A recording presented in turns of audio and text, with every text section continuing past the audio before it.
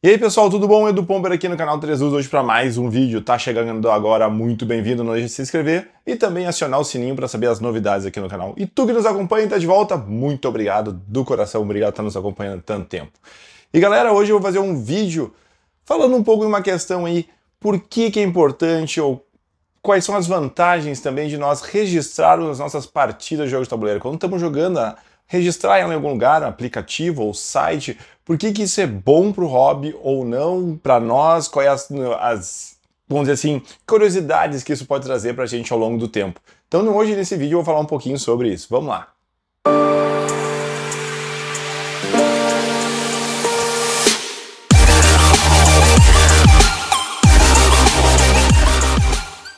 Este episódio tem o apoio da Bravo Jogos muito mais que uma loja, seu lugar de diversão.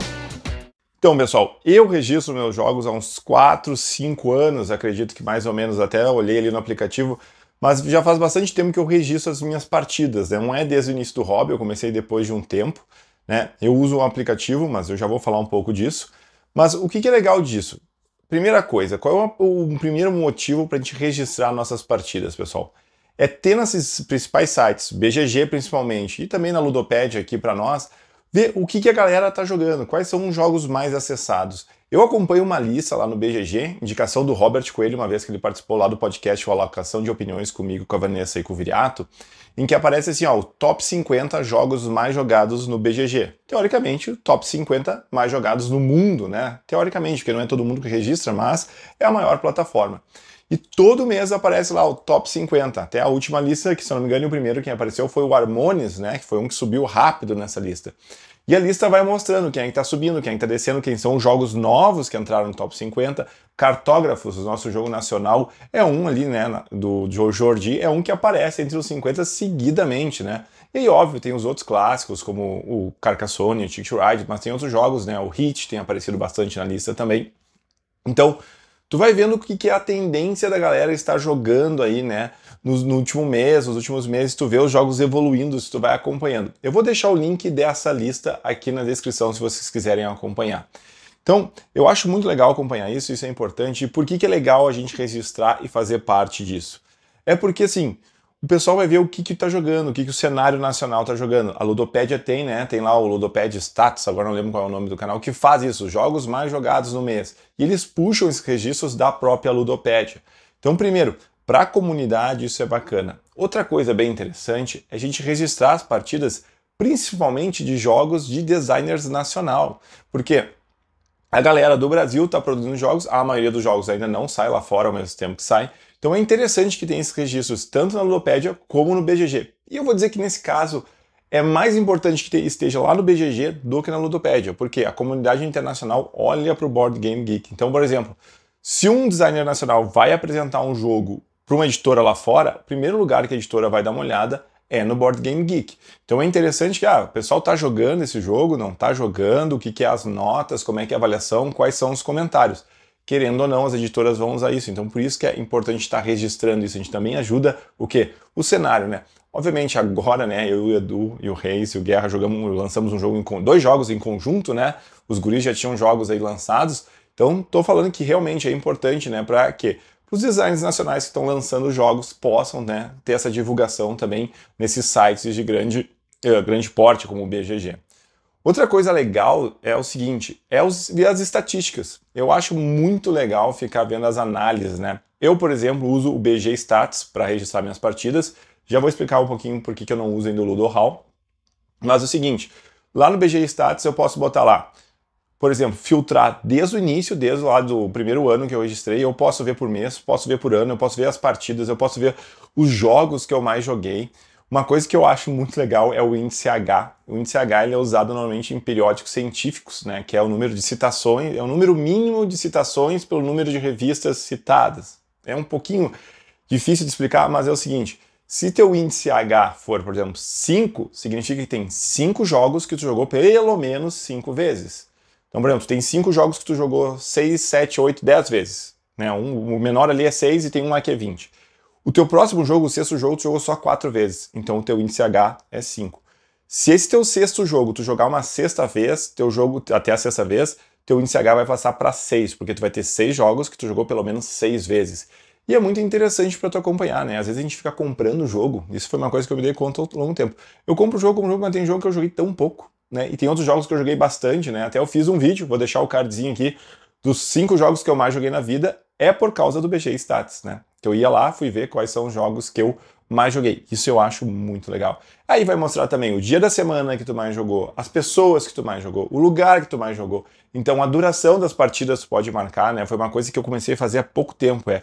Eu registrava no fim da partida, agora não, eu já, já configuro a partida e dou play para ver a duração das partidas, que é outra coisa muito legal também de analisar nesses aplicativos. Bom, eu uso o BG Stats, tem um outro que o pessoal usava muito que é o ScorePol, e o Brasil aqui, né, nós temos o Ludo Hall, o brasileiro.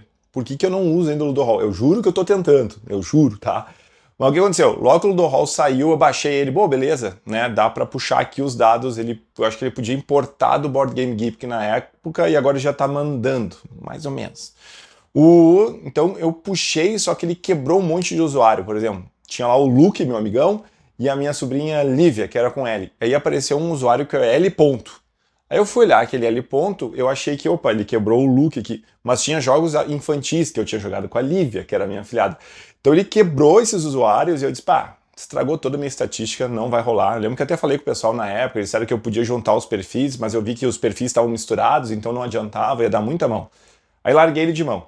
Aí quando eu tive ideia de gravar esse vídeo, eu disse, eu vou dar uma visitada no aplicativo para não falar besteira. Aí eu entrei no aplicativo, o que, que eu tentei sincronizar, o que, que eu fiz? Eu deletei minha conta, aí ah, loguei de novo, aí eu vi que ele já estava enviando para o Board Game Geek. Eu sincronizei do Board Game Geek, trouxe todos os meus jogos, eles não, que, não quebrou mais usuários, passou bonitinho. Só que aí eu fui sincronizar com a Ludopédia, ele puxou os jogos que eu já tinha salvo na Ludopédia duas vezes. Então ele duplicou todas as partidas, porque eu tinha, sei lá, 1.800 partidas na Ludopédia e 2.000 no, no BG Stats, alguma coisa assim. E aí, quando eu puxei, eu fiquei com quase 4 mil partidas, porque ele sincronizou as duas. Aí o que eu estou tentando fazer é ver se eu consigo apagar todas as minhas partidas da Ludopad. Eu vou ter ver se eu consigo pedir o pessoal apague minhas partidas, porque daí eu vou sincronizar do BGG Stats para depois poder sincronizar de novo com a Ludopédia e aí ficar o aparelho e eu dar o Ludo Hall. Uma coisa que eu vi é o envio. Assim, ele não é na hora. O BG Stats tu manda na hora, vai pro, BG, pro BGG. Ali eu vi que demora. Até tem uma partida que eu joguei, ela tá enviada para o BGG, mas não dá para a Ludopédia. E aí fui lá no grupo do WhatsApp dos Edus, perguntei, o pessoal disse que é meio de lua, assim. Às vezes vai, às vezes não vai. Então eu tô meio nessa, meio cabreiro ainda, porque eu gostaria muito de se registrar, tanto na Ludopédia como no BGG. O BG Stats não registra na Ludopédia, inclusive abri um chamado uma vez para eles, e eles falaram que estavam com isso no farol deles, mas até hoje não sincroniza com a Ludopédia. Então, por isso que eu não tô, eu tô nessa briga com o Ludohall. Se tu tá começando a registrar agora, olha, eu acho bem legal a interface. É aquela coisa, eu usei pouco, achei um pouquinho mais difícil o BG Stats, achei mais simples do BG Stats, mas é aquela coisa, se acostumar. No momento que se acostuma, vai. O pessoal usa muito no Brasil aqui, vejo que a galera elogia muito o aplicativo. Então, se tu tá pensando em começar a registrar agora, olha, Ludohall, que daí tu consegue tanto o BGG como a Ludopad ao mesmo tempo, parece que vai funcionar, eles devem estar melhorando o aplicativo. Ou então eu reivindico muito o BGG Stats. Bom, pessoal, então como eu falei, além dessa parte de curiosidade, estatísticas, registros, tem essa importância para o hobby, né? Um, por exemplo, o jogo mais jogado no Brasil na Ludopédia, vocês sabem qual é? Se vocês forem olhar, no último mês, se eu não me engano, foi o Trio. Acho que foi o Trio, ou o Trio foi no mês passado, agora não lembro. Então, é legal ver o que a comunidade está jogando. Jogos que às vezes a gente acha que não está no nosso radar, muita gente jogando, assim, ó, tem bastante gente jogando, é um bom sinal, né? É um sinal que o jogo não é só hype. Por exemplo, o Harmonis. O Harmonis foi um hype grande aqui no Brasil, esgotou tri rápido, galera vendendo tri caro ele agora. Tu vai ver, não é só uma coisa nacional, tu vai ver no BG Stats lá, ele é o top 1. Ou seja, provavelmente o jogo é bom mesmo, né?